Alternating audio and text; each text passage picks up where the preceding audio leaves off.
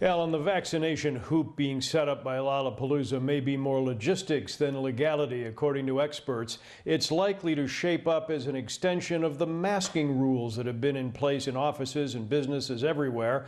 Lollapalooza about to enforce the updated 2021 version of that old line no shirt, no shoes, no vaccine, no service. Until now, the biggest challenge for Lollapalooza planners has been patrons who buried beer and liquor in the park before the fences went up.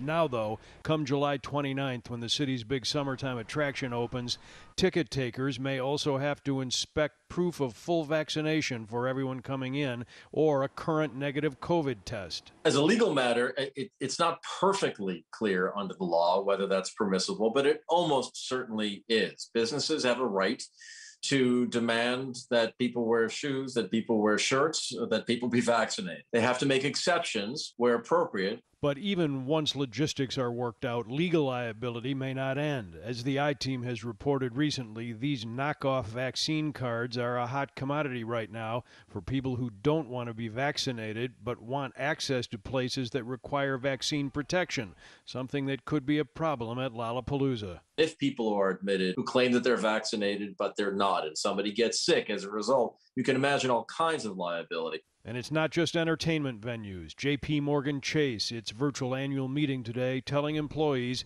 that fully vaccinated staff won't have to wear masks at its Chicago or other U.S. offices. And tonight, the company is reported to be looking at whether mandatory employee vaccines would be legal. As a general matter, I think the business is free to say, we expect you to be vaccinated and we demand it, uh, or you're going to have to consider other alternatives.